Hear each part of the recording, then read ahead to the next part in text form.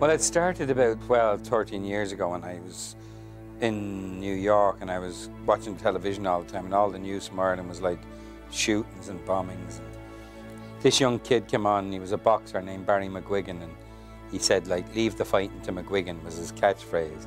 So I thought it was kind of innocent and, you know, naive a little bit, but great.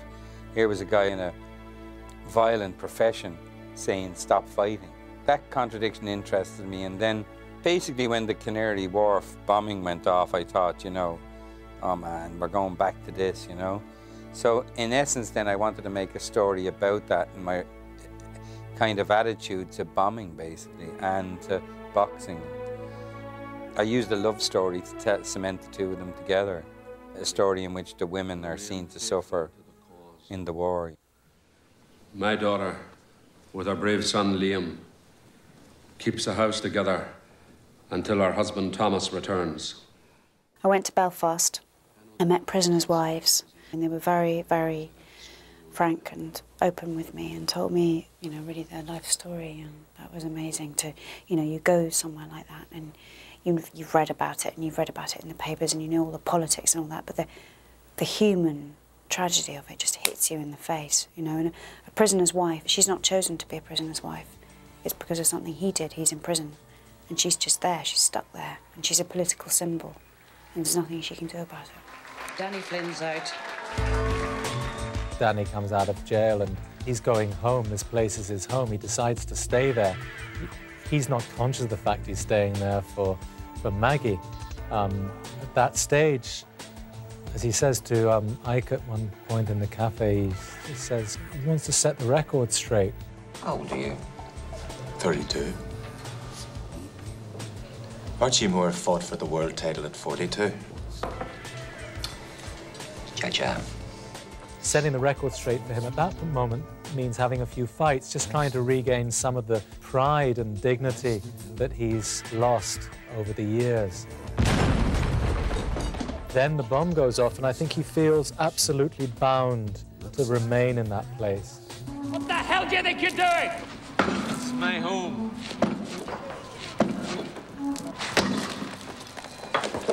I think I wanted to make a film about kind of growing up. And I had this in the back of my mind that the boxer fought within the rules, you know, and that he wasn't a terrorist, you know what I mean? So that it was like, by terrorist, I mean somebody who fights without rules. In other words, who dehumanizes the opposition to the point where any means necessary will work. And I thought that the boxer was somebody who didn't do that, who kind of stood up for himself in a way, honestly, in the ring. And that was the story I wanted to do. He had a fairly clear idea, or the seed of an idea, of what Danny might be. I did also, and I suppose we met somewhere in the middle. And he underwent various different incarnations during the course of the work. But essentially, he remained um, a man who'd pretty much lost the ability to speak. And that was something that struck us both as interesting. It was kind of like a huge silence at the center, wasn't mm. there, of your character? At the beginning of the story, when you find the two of them, and I'm setting up the gym and just trying to get back into it.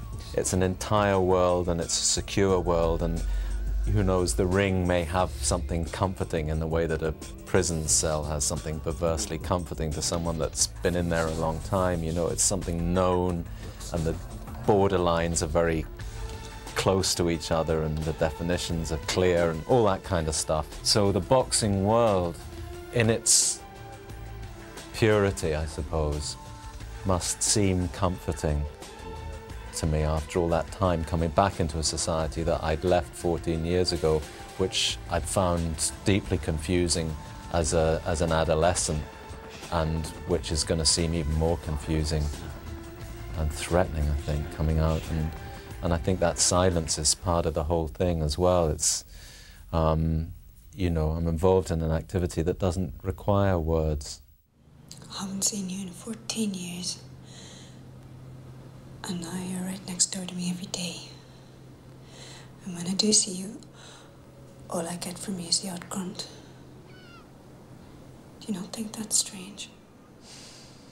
We wear masks to be accepted, uh, sometimes we don't want to be accepted and keep people distant, so we wear a mask. So often the process is not finding out what's the motivation of the character, which is kind of a driven mentality and a kind of too pragmatic a mentality. It's unmasking the masks that the people wear to find out what's the essence. At the beginning, we we didn't speak to each other at all because because we've not in the film we've not met for 14 years. We decided, you know, we'd just avoid each other. So like we'd be on here, kind of tiptoeing around, trying not to bump, bump into each other. But you know, as as the stories developed, I got to know him a bit better, and he's very intense.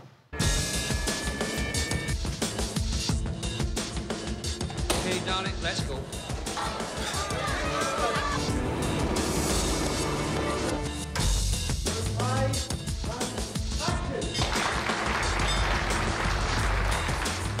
Sparred in total about 300 rounds, 350 rounds.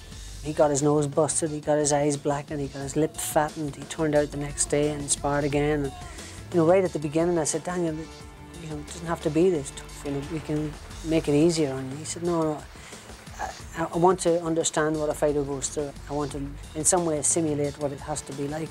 I was never a boxer at school. I mean, I, loved sports, but I was not a fighter, and I grew up in a, in a district of London where mm-hmm. people scrapped a lot. It was part of the daily routine. There's a lot of scrapping, and I wasn't a scrapper, but my friends were, and so I would get into scrapes mm-hmm. sometimes, and was never that great at handling them.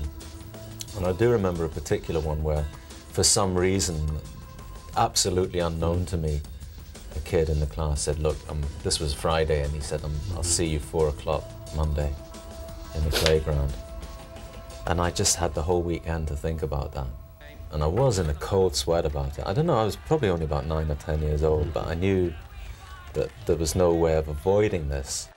I remember the fear of that. And that's the kind of fear that you're dealing with in the ring and it's nothing to do with the pain. I remember the fight itself, and it was all over very quickly because he was fairly handy, this mm-hmm. character. And I don't remember anything about physical pain at all, mm-hmm. but there was something about the humiliation of having not overcome one's fear, having been made to be that fearful, and the anger that's engendered by that as well. Mm-hmm. And the fear that you kind of keep rediscovering that you have to control is almost like a childish fear. It's a, chi- it's a childlike fear that doesn't relate in any way to the physical pain that you're going to suffer. Because what you discover, and it's actually it's not that bad getting. I mean, it's not. I think you know, I'm it's- more corrupt than It's you, not yeah. fun. There's no no one wants particularly, but I I don't mind it. Okay, can you continue? In fact, I, I tend to respond quite well to getting hit every now and then.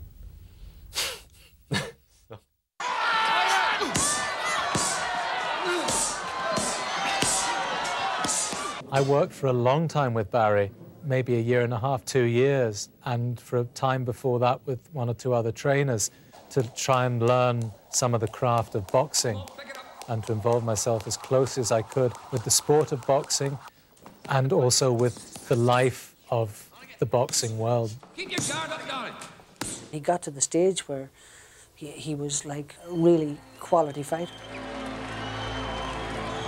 At the beginning, we did all the boxing stuff, and I did a lot of sitting in the third row, kind of going, you know, and peeking through doors, you know, kind of just putting my toe into the testosterone zone, and then going away again in a bit, in a bit of a fright. Liam, elbows in. That's it, elbows, elbows in. Nice and tight. I had to learn how to box for the film, and that was like different. So it was good fun training and all. It's a good laugh. we choreographed the fight, and Jim thought we looked too good, so we had to just make it up then as we went along because we had it all choreographed really well. It's really rough. I'd get my head killed. Make him have a blood test.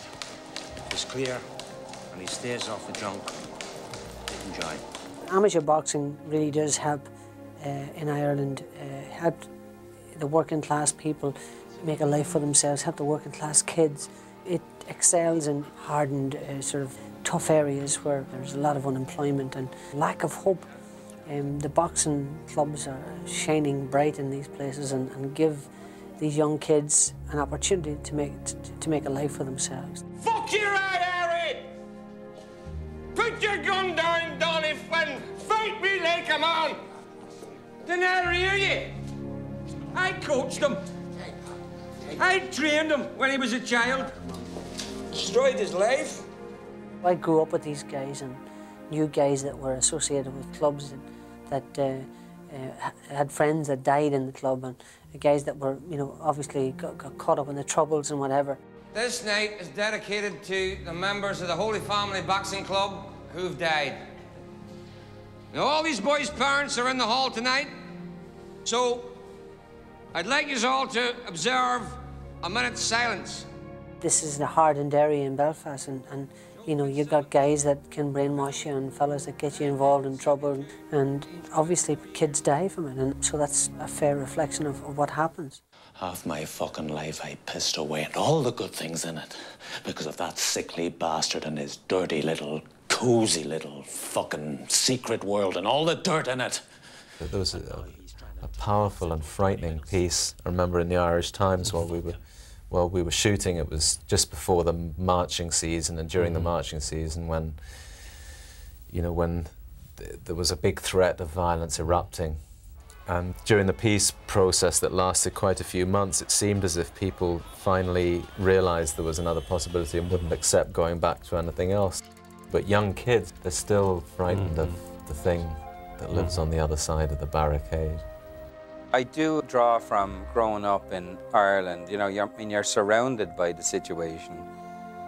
Uh, since, you know, like Kent State University, you know, I suppose people of my age in America would remember, but like Bloody Sunday, there were 13 people killed, and that went on for like 10 years. Like there was conflicts where then the IRA responded, and then the British again, then the Protestants.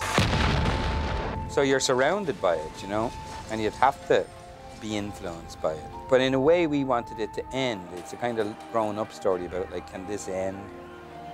And our attitude is like, we understand the historical reasons that the problem came about, but I think at the end of the 20th century, nearly the 21st century, this kind of violence is kind of like a brain-dead way to try and solve problems. What was always deeply moving to me was that Barry had tremendous respect for the people that he was pitted against. Maybe it's only a gesture, and in his case, we know it's genuine. In other people, it might be less genuine. But when he knocked a guy down, and he did that often in his career, he'd be the first person to make sure that they were okay. I mean, he went through that devastating experience with young Ali when a fighter died as a result of a fight that he'd been in, and it's unimaginable what he went through psychologically. One traumatic time in, in my life, in 1982, in the Grosvenor House Hotel in London, I had a tragic boxing match with a, a young guy called Young Ali, or Alimi Mustafa was his name. And he died, and it had a, a um, profound effect on me. And the story had an effect on, on Jim too, and he wanted to tell that story, only he changed the outcome of the fight. And that's a similar story to the third fight.